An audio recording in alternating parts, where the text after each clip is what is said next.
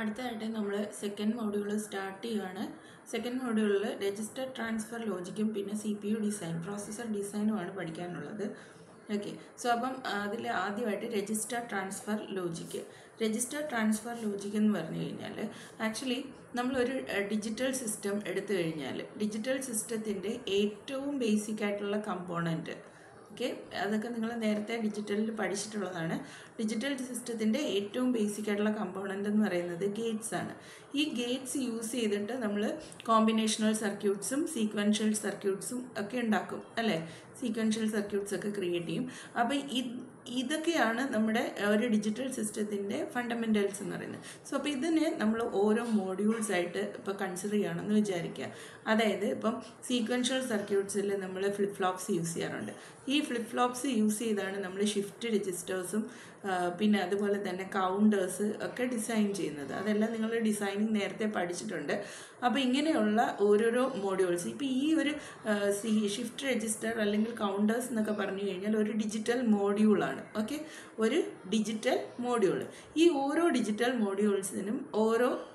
Specific task ആയിരിക്കും അത് perform ചെയ്യുന്നത് ഇപ്പോൾ ഷിഫ്റ്റ് രജിസ്റ്റർ പെർഫോം ചെയ്യുന്ന ടാസ്ക് എന്ന് പറഞ്ഞു കഴിഞ്ഞാൽ അതിൻ്റെ ബിറ്റ്സിനെ ഷിഫ്റ്റ് ചെയ്യുക എന്നുള്ളതാണ് അല്ലേ അപ്പോൾ അതുപോലെ കൗണ്ടേഴ്സ് എന്ന് പറഞ്ഞു കഴിഞ്ഞാൽ നമുക്ക് ഉള്ള വാല്യൂസിനെ ഇൻക്രിമെൻറ്റ് ചെയ്യുകയോ അല്ലെങ്കിൽ ഡിക്രിമെൻറ്റ് ചെയ്യുകയോ ചെയ്യുന്നതുകൊണ്ടിരിക്കുന്ന തന്നെയാണ് നമ്മൾ കൗണ്ടേഴ്സ് സർക്യൂട്ട്സ് യൂസ് ചെയ്യുന്നത് അപ്പം ഇങ്ങനെയുള്ള individual digital modules specific task ചെയ്യുന്ന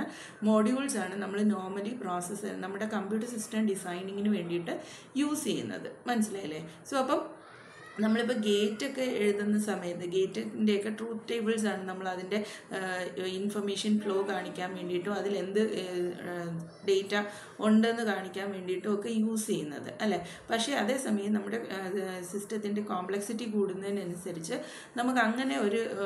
ട്രൂത്ത് ടേബിൾ വെച്ചിട്ടോ അല്ലെങ്കിൽ വേറെ എന്തെങ്കിലും ഒരു മാർഗത്തിൽ കൂടിയോ നമുക്ക് അതിനെ റെപ്രസെൻ്റ് ചെയ്യാൻ പറ്റത്തില്ല ഓക്കെ അപ്പോൾ അങ്ങനെ വരുന്ന സിറ്റുവേഷൻസിൽ നമ്മൾ നമ്മുടെ ഡേറ്റ സ്റ്റാറ്റസ് അല്ലെങ്കിൽ ഡേറ്റ ഫ്ലോ കാണിക്കുക കാണിക്കാനും ഒക്കെ ആയിട്ട് നമ്മൾ യൂസ് ചെയ്യുന്ന ഒരു മെത്തേഡാണ് രജിസ്റ്റർ ട്രാൻസ്ഫർ ലോജിക്ക് എന്ന് പറയുന്നത് ഓക്കെ അപ്പോൾ ഇവിടെ എന്ന് പറഞ്ഞു കഴിഞ്ഞാൽ നമുക്ക് രജിസ്റ്റേഴ്സ് ആണ് ഈ രജിസ്റ്റർ ട്രാൻസ്ഫർ ലോജിക്കിൻ്റെ അകത്തുള്ള പ്രിമിറ്റീവ് കമ്പോണൻസ് എന്ന് പറയുന്നത് so registers are the primitive components inside the register transfer logic okay അപ്പോൾ ഇവിടെ മെയിനായിട്ട് ഉദ്ദേശിക്കുന്നത് എന്താണെന്ന് വെച്ച് കഴിഞ്ഞാൽ രജിസ്റ്റേഴ്സാണ് നമ്മൾ മെമ്മറി ആയിട്ട് യൂസ് ചെയ്യുന്നത് നമ്മുടെ സി പി യുനകത്ത് അപ്പോൾ അതിനകത്തുള്ള ഇൻഫർമേഷൻ ഫ്ലോ കാണിക്കാൻ വേണ്ടിയിട്ടാണ് നമ്മൾ രജിസ്റ്റർ ട്രാൻസ്ഫർ ലോജിക്ക് യൂസ് ചെയ്യുന്നത് അപ്പോൾ ഇതെന്ന് പറയുന്നത് it consist of a set of statements and expressions set of statements or expressions ആണ് നമ്മൾ ഈ രജിസ്റ്റർ ട്രാൻസ്ഫർ ലോജിക്കിൽ ഇൻക്ലൂഡ് ചെയ്തിട്ടുള്ളത് സോ ഇതിനകത്ത് നമുക്ക് നമ്മൾ നോർമലി യൂസ് ചെയ്യുന്ന ഒരു പ്രോഗ്രാമിംഗ് ലാംഗ്വേജ് പോലെയൊക്കെ നമുക്കിത് യൂസ് ചെയ്യാൻ പറ്റും and it provides a necessary tool for specifying the interconnection between various digital functions okay so it is a necessary tool okay ഇതൊരു ടൂളായിട്ട് നമുക്ക് യൂസ് ചെയ്യാൻ പറ്റും ഈ ടൂൾ എന്ന് പറയുന്നത് നമ്മുടെ വീ നമ്മുടെ സിസ്റ്റത്തിനകത്ത് നമ്മൾ യൂസ് ചെയ്യുന്ന പല ടൈപ്പ് ഓഫ് ഡിജിറ്റൽ മോഡ്യൂൾസ് ഉണ്ടാവും ആ ഡിജിറ്റൽ മോഡ്യൂൾസ് തമ്മിലുള്ള ഇൻ്റർ കണക്ഷൻ സ്പെസിഫൈ ചെയ്യാൻ വേണ്ടിയിട്ട് ഓക്കെ അത് തമ്മിലുള്ള ഇൻ്റർ കണക്ഷൻ കാണിക്കാൻ വേണ്ടിയിട്ടുള്ള ഒരു ടൂളായിട്ട് നമ്മൾ യൂസ് ചെയ്യുന്നതാണ് രജിസ്റ്റർ ട്രാൻസ്ഫർ ലോജിക് എന്ന് പറയുന്നത് ഇനി ഈ ഒരു രജിസ്റ്റർ ട്രാൻസ്ഫർ ലോജിക്ക് നമ്മൾ നോക്കിക്കഴിഞ്ഞാൽ അതിൻ്റെ മെയിൻ കമ്പോണൻസ് എന്ന് പറയുന്നത് ഫസ്റ്റ് നമുക്ക് എന്ത് ഏതൊക്കെ സെറ്റ് ഓഫ് രജിസ്റ്റേഴ്സ് ആണ് ഉള്ളത് എന്നുള്ളതാണ് നമുക്ക് നമുക്ക് ഈ രജിസ്റ്റേഴ്സിൻ്റെ ട്രാൻസ്ഫർ അതിനകത്തുള്ള ഇൻഫർമേഷൻ ഫ്ലോ കാണിക്കണമെങ്കിൽ ആദ്യം നമുക്ക് അതിനകത്ത് ഏതൊക്കെ രജിസ്റ്റേഴ്സ് ഉണ്ട് എന്നുള്ളത് അറിയണം ഓക്കെ അപ്പോൾ സെറ്റ് ഓഫ് രജിസ്റ്റേഴ്സ് ഏതൊക്കെ രജിസ്റ്റേഴ്സ് ആണ് നമുക്കുള്ളതെന്ന് അറിയണം അതോടൊപ്പം തന്നെ അതിൻ്റെ ഓരോന്നിൻ്റെയും ഫങ്ഷൻസും അറിയണം അതായത് ഇപ്പം നമ്മൾ ജനറൽ പർപ്പസ് രജിസ്റ്റേഴ്സ് യൂസ് ചെയ്യാറുണ്ട് അതോടൊപ്പം സ്പെഷ്യൽ പർപ്പസ് രജിസ്റ്റേഴ്സ് യൂസ് ചെയ്യാറുണ്ട് ഇപ്പോൾ ഫോർ എക്സാമ്പിൾ പി സി എന്ന് പറഞ്ഞാൽ പ്രോഗ്രാം കൗണ്ടറാണ് അല്ലേ ഇതൊരു ആണെന്ന് നമുക്കറിയാം ഇതിൻ്റെ ഫംഗ്ഷൻ എന്താണെന്നും കൂടി നമ്മൾ അറിഞ്ഞിരിക്കണം പി സി എന്ന് പറയുന്നത് നെക്സ്റ്റ് ഇൻസ്ട്രക്ഷനെ പോയിൻ്റ് ചെയ്യുന്ന ഒരു രജിസ്റ്ററാണ് പി സി എന്ന് പറയുന്നത് അപ്പോൾ ഇതുപോലെ നമ്മുടെ ഒരു പ്രോസസ്സർ ഡിസൈനിനകത്ത് നമുക്ക് ഏതൊക്കെ സെറ്റ് ഓഫ് രജിസ്റ്റേഴ്സാണ് ഉള്ളത് ആ ഓരോ രജിസ്റ്റേഴ്സിൻ്റെയും ഫങ്ഷൻസ് എന്താണ് എന്നുള്ളതാണ് ഫസ്റ്റ് കമ്പോണൻ്റ് ആയിട്ട് നമ്മൾ ഈ രജിസ്റ്റർ ട്രാൻസ്ഫർ ലോജിക്കിനകത്ത് പറയുന്നത് ദെൻ രണ്ടാമത്തെ കമ്പോണൻ്റ് എന്ന് പറയുന്നത് binary coded information. Binary coded information stored in these registers okay ഈ രജിസ്റ്റേഴ്സിനകത്ത് നമ്മൾ എന്ത് ടൈപ്പ് ഓഫ് ബൈനറി കോഡഡ് ഇൻഫർമേഷനാണ് സ്റ്റോർ ചെയ്തിരിക്കുന്നത് എന്നുള്ളതാണ് ഇവിടെ പറയുന്നത് നമ്മൾ നോർമലി ബൈനറി ഇൻഫർമേഷൻ എന്ന് പറഞ്ഞാൽ പോലും നമ്മൾ നോർമലി ബൈനറി യൂസ് ചെയ്യാറുണ്ട് ബി സി ഡി യൂസ് ചെയ്യാറുണ്ട് പല ടൈപ്പ് ഓഫ് കോഡ്സ് യൂസ് ചെയ്യാറുണ്ട് codes excess three codes gray codes ഇങ്ങനെയുള്ള പല പല കോഡ്സ് യൂസ് ചെയ്യാറുണ്ട് പിന്നെ ആൽഫാനുമെറിക് ക്യാരക്ടേഴ്സ് യൂസ് ചെയ്യാറുണ്ട് ഇങ്ങനെ പല ടൈപ്പ് ഓഫ് കോഡിങ് യൂസ് ചെയ്തിട്ടാണ് നമ്മൾ ഡേറ്റനെ റെപ്രസെൻ്റ് ചെയ്യുന്നത് അപ്പോൾ നമ്മുടെ ഈ രജിസ്റ്റേഴ്സിനകത്ത് നമ്മൾ എന്ത് ടൈപ്പ് ഓഫ് കോഡിംഗ് ആണ് യൂസ് ചെയ്തിരിക്കുന്നത് ഈ ഡേറ്റ റെപ്രസെൻ്റ് ചെയ്യാനായിട്ട് അത് കാണിക്കുന്നതാണ് രണ്ടാമത്തെ കമ്പോണൻ്റ് എന്ന് പറയുന്നത് അപ്പോൾ അത് സ്പെസിഫൈ ചെയ്തിരിക്കണം പിന്നെ what are the operation can that can be performed by using these registers okay അപ്പോൾ നമ്മൾ ഈ രജിസ്റ്റേഴ്സിനകത്ത് ഇൻഫർമേഷൻ സ്റ്റോർ ചെയ്തിട്ടുണ്ട് ആ ഇൻഫർമേഷൻ യൂസ് ചെയ്തുകൊണ്ട് നമുക്ക് എന്തൊക്കെ ഓപ്പറേഷൻസ് ഓരോ രജിസ്റ്ററിലും പെർഫോം ചെയ്യാൻ പറ്റും എന്നുള്ളത് നമ്മൾ നേരത്തെ പറഞ്ഞിരിക്കണം അപ്പോൾ ഈ ഓപ്പറേഷൻസിനെയാണ് നമ്മൾ മൈക്രോ ഓപ്പറേഷൻസ് എന്ന് പറയുന്നത് ഓക്കെ അപ്പോൾ മൈക്രോ ഓപ്പറേഷൻസ് എന്ന് പറയുമ്പോൾ നമ്മുടെ രജിസ്റ്റേഴ്സിൻ്റെ അകത്തുള്ള കണ്ടൻസ് യൂസ് ചെയ്തുകൊണ്ട് നമുക്ക് പെർഫോം ചെയ്യാൻ പറ്റുന്ന ഒരു പെർഫോം ചെയ്യാൻ പറ്റുന്ന ഓപ്പറേഷൻസിനെയാണ് നമ്മൾ മൈക്രോ ഓപ്പറേഷൻസ് എന്ന് പറയുന്നത് ഈ മൈക്രോ ഓപ്പറേഷൻസിന് എക്സാമ്പിൾസ് ആണ് ഷിഫ്റ്റ് ഓപ്പറേഷനുണ്ട് കൗണ്ട് ഓപ്പറേഷനുണ്ട് ആഡ് ഉണ്ട് ദെൻ ക്ലിയർ ഡേറ്റ് ലോഡ് ഇങ്ങനെ പല പല ഓപ്പറേഷൻസ് വരുന്നുണ്ട് അപ്പോൾ അതെല്ലാം നമ്മൾ ഈ പോകെ പോകെ പഠിക്കുന്നുണ്ട് സോ അപ്പോൾ അതാണ് ഓപ്പറേഷൻസ് ദെൻ ലാസ്റ്റായിട്ട് control functions control functions that initiate the sequence of operation അതായത് മൈക്രോ ഓപ്പറേഷൻസ് നമ്മൾ കുറേ sequence of micro operations perform ചെയ്യുമ്പോഴാണ് നമുക്ക് ഒരു ഒരു ഫംഗ്ഷൻ പെർഫോം ചെയ്യാൻ പറ്റുന്നത് അല്ലെങ്കിൽ എന്തെങ്കിലും ഒരു സ്പെസിഫിക് ടാസ്ക് പെർഫോം ചെയ്യാൻ പറ്റുന്നത് ഓക്കെ അപ്പോൾ അതിനെ ഇനിഷ്യേറ്റ് ചെയ്യുന്ന ഒരു ഫംഗ്ഷൻ ഉണ്ടാവും ആ ഫംഗ്ഷനെയാണ് നമ്മൾ കൺട്രോൾ ഫംഗ്ഷൻ എന്ന് പറയുന്നത് അപ്പം ഇങ്ങനെ നാല് കമ്പോണൻസ് ചേരുന്നതാണ് രജിസ്റ്റർ ട്രാൻസ്ഫർ ലോജിക് എന്ന് പറയുന്നത് ഓക്കെ അപ്പോൾ രജിസ്റ്റർ ട്രാൻസ്ഫർ ലോജിക് എന്ന് പറഞ്ഞാൽ ആക്ച്വലി എന്താണ് രജിസ്റ്റേഴ്സ് തമ്മിലുള്ള ഇൻ്റർ കണക്ഷൻ അല്ലെങ്കിൽ അത് തമ്മിലുള്ള ഇൻ്റർ കമ്മ്യൂണിക്കേഷന് കാണിക്കുന്ന ഒരു ടൂളാണ് രജിസ്റ്റേഴ്സ് ട്രാൻസ്ഫർ ലോജിക് എന്ന് പറയുന്നത് അപ്പോൾ അങ്ങനെ ഒരു കമ്മ്യൂണിക്കേഷൻ നമ്മൾ കാണിക്കണമെങ്കിൽ അല്ലെങ്കിൽ കണക്ഷൻ കാണിക്കണമെങ്കിൽ നമ്മൾ ആദ്യം അതിനകത്ത് ഏതൊക്കെ സെറ്റ് ഓഫ് രജിസ്റ്റേഴ്സ് ഉണ്ടെന്നും അതിൻ്റെ ഫംഗ്ഷൻസ് ഉണ്ടെന്നും ഡിഫൈൻ ചെയ്തിരിക്കണം രണ്ടാമത് അതിൽ എന്ത് ടൈപ്പ് ഓഫ് ഇൻഫർമേഷൻ ആണ് കോഡ് ചെയ്തിരിക്കുന്നത് അല്ലെങ്കിൽ യൂസ് ചെയ്തിരിക്കുന്നതെന്ന് അറിയണം ദെൻ എന്തൊക്കെ ഓപ്പറേഷൻസ് നമുക്ക് ആ ഡേറ്റ യൂസ് ചെയ്ത് ആ ഒരു രജിസ്റ്ററിൽ നമുക്ക് പെർഫോം ചെയ്യാൻ പറ്റും എന്നറിയണം ദെൻ അതോടൊപ്പം ആ ഒരു സീക്വൻസ് ഓഫ് ഓപ്പറേഷനെ ഇനിഷ്യേറ്റ് ചെയ്യുന്ന കൺട്രോൾ ഫംഗ്ഷൻ ഏതാണെന്നും അറിയണം അപ്പോൾ ഇത്രയും കാര്യങ്ങളാണ് ഈ ഒരു രജിസ്റ്റർ ട്രാൻസ്ഫർ ലോജിക്കിൻ്റെ ബേസിക് ആയിട്ട് അല്ലെങ്കിൽ അതിൻ്റെ കമ്പോണൻസ് ആയിട്ട് നമ്മൾ പറയുന്നത് ഓക്കെ അപ്പോൾ ഇനി ഇതിൻ്റെ നൊട്ടേഷൻസും കാര്യങ്ങളൊക്കെയാണ് ഇനി അടുത്ത് പഠിക്കാൻ പോകുന്നത് സോ അപ്പോൾ രജിസ്റ്റർ ട്രാൻസ്ഫർ ലോജിക്കിൽ നമ്മൾ സിംബോളിക് നെയിംസ് രജിസ്റ്റേഴ്സിനെ റെപ്രസെൻറ്റ് ചെയ്യാൻ വേണ്ടിയിട്ട് യൂസ് ചെയ്യുന്ന സിംബോളിക് നെയിംസ് ഉണ്ട് അതെന്ന് പറയുന്നത് ക്യാപിറ്റൽ ലെറ്റേഴ്സ് യൂസ് ചെയ്തിട്ടാണ് നമ്മൾ രജിസ്റ്റേഴ്സിനെ കാണിക്കുന്നത് പിന്നെ അതുപോലെ തന്നെ മൈക്രോ ഓപ്പറേഷൻസ് ഉണ്ട് മൈക്രോ ഓപ്പറേഷൻസ് എന്ന് പറയുമ്പോൾ എലമെൻ്ററി ഓപ്പറേഷൻസ് ആണ് ഒരു ക്ലോക്ക് പൾസിൽ നമുക്ക് പെർഫോം ചെയ്യാൻ പറ്റുന്ന എലമെൻ്ററി ഓപ്പറേഷൻസിനെയാണ് നമ്മൾ മൈക്രോ ഓപ്പറേഷൻസ് എന്ന് പറയുന്നത് അപ്പോൾ ഈ ഇതിൻ്റെ ഒരു മൈക്രോ ഓപ്പറേഷൻ നടക്കുമ്പോഴത്തേനും അതിൻ്റെ റിസൾട്ട് എന്ന് പറയുന്നത് ഒന്നുകിൽ ആ ഓൾറെഡി ഉള്ള രജിസ്റ്ററിൽ തന്നെ എക്സിസ്റ്റിംഗ് ആയിട്ടുള്ള വാല്യൂവിനെ റീപ്ലേസ് ചെയ്തുകൊണ്ട് ചെയ്യും സ്റ്റോർ ചെയ്യും അതല്ല എങ്കിൽ വേറൊരു രജിസ്റ്ററിലായിരിക്കും അതിൻ്റെ റിസൾട്ട് വരുന്നത് അതെങ്ങനെ വേണമെങ്കിലും വരാം ഓക്കെ അപ്പോൾ ഇങ്ങനെയുള്ള പല കാര്യങ്ങളും ഉണ്ട് ദെൻ ഇതിനകത്ത് ഇനി അടുത്തറിയേണ്ടതെന്ന് പറഞ്ഞു കഴിഞ്ഞാൽ എന്തൊക്കെ ടൈപ്പ് ഓഫ് മൈക്രോ ഓപ്പറേഷൻസ് ഉണ്ട് എന്നുള്ളതാണ് ടൈപ്സ് ഓഫ് മൈക്രോ ഓപ്പറേഷൻസ്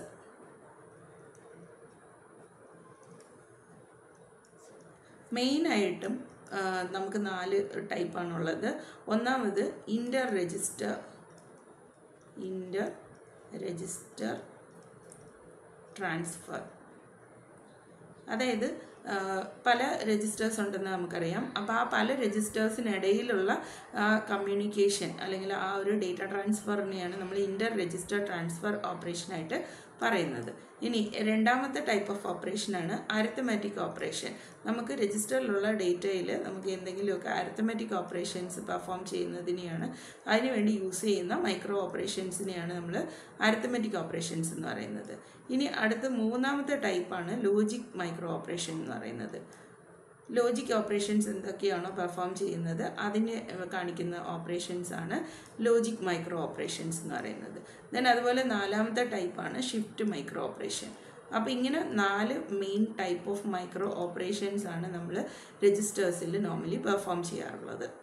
ഇനി ഇതൊക്കെ ഏതൊക്കെയാണെന്നുള്ളതൊക്കെ നമ്മൾ പഠിക്കുന്നുണ്ട്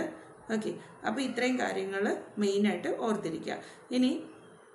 രജിസ്റ്റേഴ്സിനെ നമ്മൾ നോർമലി ഡിനോട്ട് ചെയ്യുന്നത് ക്യാപിറ്റൽ ലെറ്റേഴ്സ് യൂസ് ചെയ്തിട്ടാണ്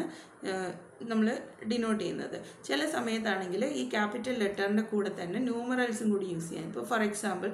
ആർ വൺ എന്ന് പറയുന്നു ഓക്കെ ഈ ആർ വൺ എന്ന് പറഞ്ഞു കഴിഞ്ഞാൽ ഇതൊരു രജിസ്റ്റർ ആണ് എന്നുള്ളതാണ് അപ്പോൾ ഇവിടെ ക്യാപിറ്റൽ ലെറ്റർ ആർ ഡിനോട്ട് ചെയ്യുന്നത് രജിസ്റ്റർ ആണെന്നുള്ള രീതിയിലാണ് ദെൻ ഇതിൻ്റെ കൂടെ ഒരു ന്യൂമറലും കൂടി ആഡ് ചെയ്തിട്ടുണ്ട് അത് ആ രജിസ്റ്ററിനെ യുണീക്ലി റെപ്രസെൻറ്റ് ചെയ്യാൻ വേണ്ടിയിട്ടാണ് യൂസ് ചെയ്യുന്നത് പിന്നെ അതുപോലെ തന്നെ എം എ ആർ അത് നമുക്കറിയാം മെമ്മറി അഡ്രസ് രജിസ്റ്റർ ആണെന്നറിയാം ദെൻ അതുപോലെ പി സി എന്ന് പറയുന്ന പ്രോഗ്രാം കൗണ്ടറാണ് ഐ ആർ എന്ന് പറയുന്നത് ഇൻസ്ട്രക്ഷൻ രജിസ്റ്ററാണ് എസ് ആർ എന്ന് പറയുന്നത് സ്റ്റാറ്റസ് രജിസ്റ്ററാണ് ഇങ്ങനെ പല ടൈപ്പ് ഓഫ് രജിസ്റ്റേഴ്സ് നമ്മൾ യൂസ് ചെയ്യുന്നുണ്ട് അപ്പോൾ ഈ എല്ലാ രജിസ്റ്റേഴ്സിനെയും നമ്മൾ ക്യാപിറ്റൽ ലെറ്റേഴ്സിലാണ് നോർമലി റെപ്രസെൻ്റ് ചെയ്യുന്നത് ഇനി ഇതിൻ്റെ ഒരു വിഷ്വൽ റെപ്രസെൻറ്റേഷൻ രജിസ്റ്റേഴ്സിനെ നമ്മൾ ഗ്രാഫിക്കലി റെപ്രസെൻറ്റ് ചെയ്യുന്നത് എങ്ങനെയാണെന്നുള്ളതാണ് ഒരു റെക്റ്റാങ്കുലർ ബോക്സിനകത്ത് നമ്മൾ ആ രജിസ്റ്ററിൻ്റെ നെയിം എഴുതി കഴിഞ്ഞാൽ ഇങ്ങനെയാണ് നമ്മൾ അതിനെ ഒരു രജിസ്റ്ററായിട്ട് റെപ്രസെൻ്റ് ചെയ്യുന്നത് അപ്പോൾ ഇത് ഈ ഒരു ഫിഗറിൽ നിന്ന് നമുക്ക് മനസ്സിലാക്കാൻ പറ്റുന്നത് ഇത് രജിസ്റ്റർ എയിനെ റെപ്രസെൻ്റ് ചെയ്തിരിക്കുന്നതാണ് എന്നുള്ളതാണ് ഓക്കെ ദെൻ അത് പോയിട്ട് അപ്പോൾ ഇതെന്ന് പറയുന്ന ആസ് എ ഹോൾ ഒരു രജിസ്റ്ററിനെയാണ് അവിടെ റെപ്രസെൻ്റ് ചെയ്തിരിക്കുന്നത് അപ്പോൾ അതിന് പകരം ഞാനിപ്പോൾ ഇങ്ങനെയാണ് റെപ്രസെൻ്റ് ചെയ്യുന്നതെന്ന് വിചാരിക്കുക അതായത് A eight A seven A six A five A four A three A two A one ഇങ്ങനെ കാണിച്ചു കഴിഞ്ഞാൽ ഇതിൻ്റെ മീനിങ് എന്ന് പറയുന്നത് ഇവിടെ നമ്മൾ രജിസ്റ്റർ എയിനെ ബിറ്റ് ബൈ ബിറ്റ് റെപ്രസെൻ്റ് ചെയ്തിരിക്കുകയാണ് register A with individual cells അല്ലെങ്കിൽ വിത്ത് ബിറ്റ്സ് എന്നോ ഇൻഡിവിജ്വൽ സെൽസ് എന്നോ ഒക്കെ നമുക്ക് പറയാൻ പറ്റും ഓക്കെ സോ അപ്പം ഇതെന്ന് പറഞ്ഞു കഴിഞ്ഞാൽ ഇതിനകത്ത് നമുക്ക് ടോട്ടൽ എട്ട് ബിറ്റുകളാണുള്ളത് അപ്പോൾ ആ ബിറ്റ്സ് ഏതൊക്കെയാണ് എന്നുള്ളതൊക്കെ നമുക്ക് ഇൻഡിവിജ്വലി കാണിക്കാൻ വേണ്ടിയിട്ടാണ് ഈ ഒരു റെപ്രസെൻറ്റേഷൻ നമ്മൾ യൂസ് ചെയ്യുന്നത് ഓക്കെ ദെൻ വേറൊരു റെപ്രസെൻറ്റേഷൻ എന്ന് പറഞ്ഞു കഴിഞ്ഞാൽ എല്ലാത്തിനും നമ്മൾ ഈ റെക്റ്റാങ്കിൾ തന്നെയാണ് യൂസ് ചെയ്യുന്നത് സോ ഈ റെക്റ്റാങ്കിളിനകത്ത് ഞാൻ എം ബി ആർ എന്ന് എഴുതിയിട്ടുണ്ട് അതായത് മെമ്മറി ബഫർ രജിസ്റ്റർ ആണ് ഇത് കാണിക്കുന്നതെന്ന് മനസ്സിലാക്കാം വൺ വണ്ണിൻ വൺ മുതൽ ട്വൽവ് വരെ എന്നുള്ളത് കാണിച്ചിട്ടുണ്ട് ഇതെന്ന് പറഞ്ഞു കഴിഞ്ഞാൽ ടോ ഇതൊരു എം ബി ആർ രജിസ്റ്ററിനെ കാണിക്കുന്നു ഇതിൻ്റെ ലെങ്ത് എന്ന് പറയുന്നത് ടോട്ടൽ ട്വൽവ് ബിറ്റ്സ് ആണ് ഇതിൻ്റെ സൈസ് ട്വൽവ് ബിറ്റ്സ് ആണ് എന്ന് കാണിക്കുന്ന റെപ്രസെൻറ്റേഷനാണ് ഇത് ഓക്കെ ഇനി അതുപോലെ തന്നെ വേറൊരു റെപ്രസെൻറ്റേഷനാണ് ഇങ്ങനെ നമ്മൾ സ്പ്ലിറ്റ് ചെയ്ത് കാണിക്കുന്നത് അതായത് പി സി എച്ച് ഇത് പി സി പ്രോഗ്രാം ആണെന്ന് വിചാരിക്കുക P C L one to eight nine to sixteen ഇങ്ങനെ കാണിച്ചു കഴിഞ്ഞാൽ ഇതെന്ന് പറയുന്നത് നമ്മുടെ പ്രോഗ്രാം കൗണ്ടർ രജിസ്റ്ററിനെയാണ് കാണിക്കുന്നത് പ്രോഗ്രാം കൗണ്ടർ രജിസ്റ്ററിൻ്റെ ടോട്ടൽ ലെങ്ത് എന്ന് പറയുന്നത് സിക്സ്റ്റീൻ ആണ് സിക്സ്റ്റീൻ ബിറ്റ്സ് ആണ് ടോട്ടൽ ലെങ്ത് ഇതിനെ നമ്മൾ രണ്ട് പോർഷൻസ് ആയിട്ട് ഡിവൈഡ് ചെയ്തിരിക്കുകയാണ് two portions of register P C ഈ രണ്ട് പോർഷൻസിൽ ഫസ്റ്റ് പി സി എച്ച് എന്ന് പറഞ്ഞു കഴിഞ്ഞാൽ ഹയർ ഓർഡർ പോർഷൻ ദെൻ അതുപോലെ പി സി എൽ എന്ന് പറയുന്നത് ലോവർ ഓർഡർ പോസ്റ്റ് പോർഷൻ എന്ന് കാണിക്കുന്നതാണ്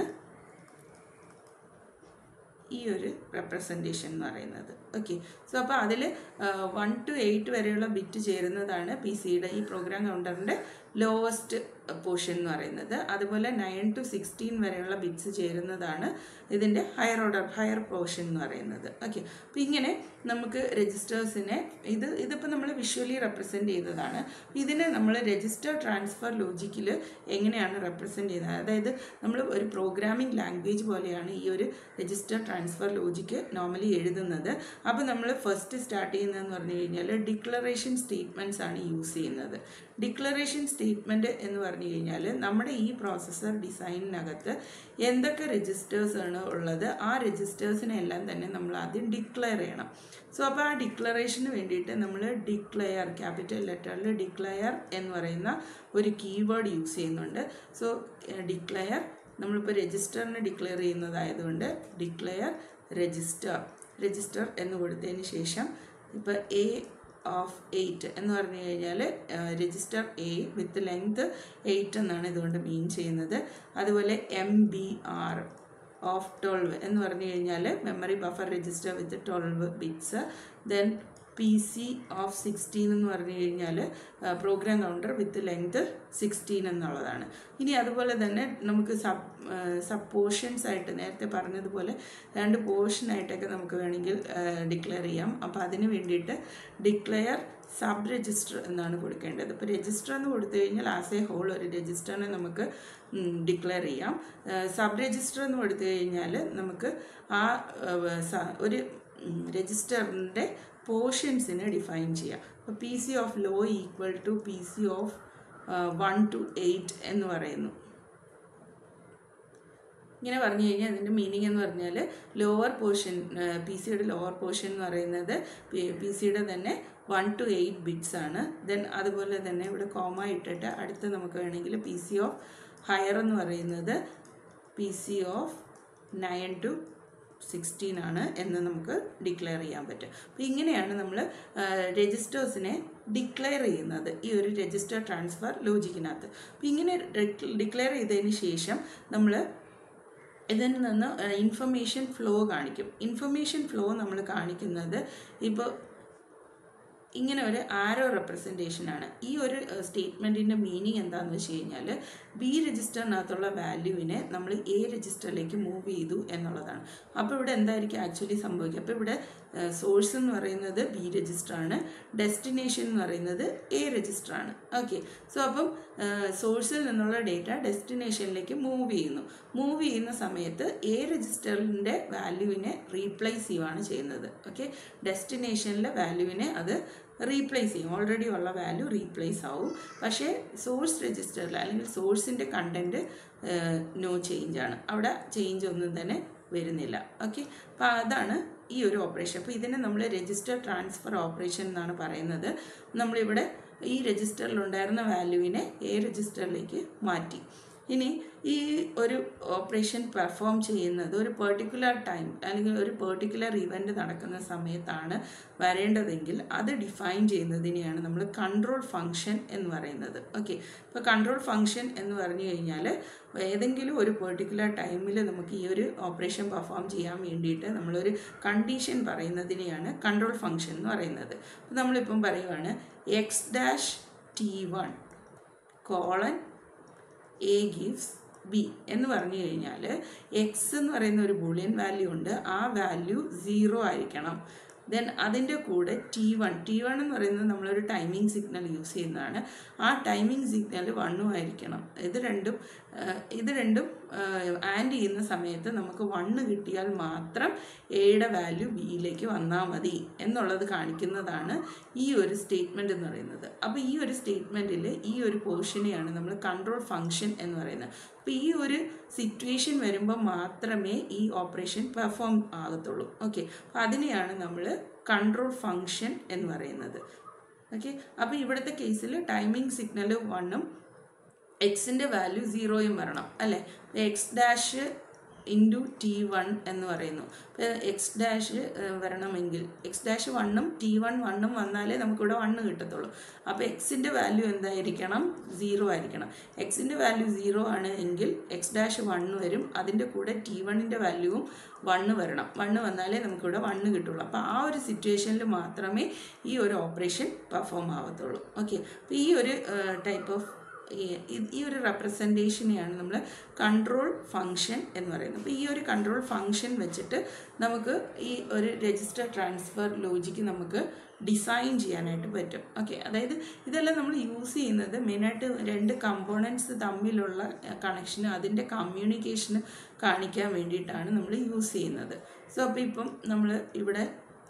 ഒരു രജിസ്റ്റർ ഉണ്ട് രജിസ്റ്റർ ബി ബി രജിസ്റ്റർ ഉണ്ട് ഈ ബി രജിസ്റ്ററിലെ കണ്ടൻറ്റ് എനിക്ക് ഈ എ രജിസ്റ്ററിലേക്ക് വരണം ഓക്കെ ഇതിൻ്റെ ഇംപ്ലിമെൻറ്റേഷനാണ് നമ്മളിപ്പോൾ പറയാൻ പോകുന്നത് അപ്പോൾ ഈ എ രജിസ്റ്ററിലേക്ക് നമ്മൾ ബി രജിസ്റ്ററിൻ്റെ കണ്ടൻറ്റ് വരണം കണ്ടൻറ്റ് വരണമെങ്കിൽ ഇവിടെ ലോഡ് എന്ന് പറഞ്ഞിട്ട് ഒരു സിഗ്നൽ നമ്മൾ കൊടുക്കണം എ രജിസ്റ്ററിലാണ് നമുക്ക് കണ്ടൻറ്റ് വരേണ്ടത് അപ്പോൾ ലോഡ് സിഗ്നൽ എനേബിൾ ആയാൽ മാത്രമേ ആ ബി രജിസ്റ്ററിലെ വാല്യൂ നമുക്ക് എ രജിസ്റ്ററിലേക്ക് ലോഡ് ആവത്തുള്ളൂ ഓക്കെ അപ്പോൾ ആ ലോഡ് ആവണമെങ്കിൽ നമ്മളിവിടെ ഒരു കൺട്രോൾ ഫംഗ്ഷൻ പെർഫോം ചെയ്യണം ഈ ഒരു കൺട്രോൾ ഫംഗ്ഷൻ എനേബിൾ ആകുമ്പോൾ മാത്രം അത് ലോഡായാൽ മതി അതാണ് നമ്മളിവിടെ പറയുന്നത് അപ്പോൾ ഈ ഒരു കണ്ടീഷൻ എന്ന് പറയുന്നത് X dash into T one ആണ് അപ്പോൾ അതിൻ്റെ കറസ്പോണ്ടിങ് സർക്യൂട്ട് നമ്മളിവിടെ പറയും അപ്പോൾ എക്സിനെ നമ്മൾ കോംപ്ലിമെൻ്റ് ചെയ്തു എക്സ് ഡാഷ് ദെൻ അതിൻ്റെ കൂടെ നമ്മളിവിടെ ഒരു ടി വൺ അപ്ലൈ ചെയ്യുന്നുണ്ട് ഇത് രണ്ടും കൂടി ആൻഡ് ചെയ്യുമ്പം എപ്പോഴാണോ വണ്ണ് വരുന്നത് ആ സമയത്ത് മാത്രം ഈ ലോഡ് ഓപ്പറേഷൻ എന്താവും ഈ ലോഡ് സിഗ്നൽ എനേബിൾ ആവും ലോഡ് സിഗ്നൽ എനേബിൾ ആവുന്ന സമയത്ത് രജിസ്റ്റർ ബിയിലെ കണ്ടൻറ്റ് രജിസ്റ്റർ എയിലേക്ക് കോപ്പി ചെയ്യും ഓക്കെ അപ്പോൾ ഈ ഒരു ഇതാണ് നമ്മുടെ ഈ മേളി പറഞ്ഞ ഈ ഒരു കൺട്രോൾ ഫംഗ്ഷൻ ഇക്വലൻ്റ് ആയിട്ടുള്ള സർക്യൂട്ട് എന്ന് പറയുന്നത് ഓക്കെ അപ്പോൾ ഇങ്ങനെ നമ്മൾ രജിസ്റ്റർ ട്രാൻസ്ഫർ ലോജിക്ക് യൂസ് ചെയ്ത് കഴിഞ്ഞാൽ നമുക്ക് ഈസി ആയിട്ട് സർക്യൂട്ട് ഡിസൈനിങ്ങും പറ്റും അതുമാത്രമല്ല ഓരോ കമ്പോണൻസിൽ നിന്നുള്ള ഫ്ലോ നമുക്ക് കൃത്യമായിട്ട് റെപ്രസെൻ്റ് ചെയ്യാനും കാര്യങ്ങൾക്കൊക്കെ പറ്റുകയും ചെയ്യും അപ്പോൾ അതിന് വേണ്ടിയിട്ടാണ് നമ്മൾ ഈ രജിസ്റ്റർ ട്രാൻസ്ഫർ ലോജിക്ക് മെയിനായിട്ട് യൂസ് ചെയ്യുന്നത് ഓക്കെ അപ്പോൾ ഇതിൻ്റെ കൂടുതൽ ഇനി ഒരു കാര്യം കൂടി ഉണ്ട് ഇതിനകത്ത് നമ്മൾ അതായത് രണ്ട് കണ്ടീഷൻ വരുമ്പോഴത്തേനും ഒക്കെ രണ്ട് രജിസ്റ്ററിൽ നിന്നുള്ള വാല്യൂ ഒക്കെ എങ്ങനെയാണ് നമ്മൾ ലോഡ് ചെയ്യുന്നത് അതിൻ്റെ സർക്യൂട്ട് എങ്ങനെ ഡിസൈൻ ചെയ്യും എന്നുള്ള കാര്യങ്ങൾ അത് നമുക്ക് അടുത്ത വീഡിയോയിൽ കാണാം ഓക്കെ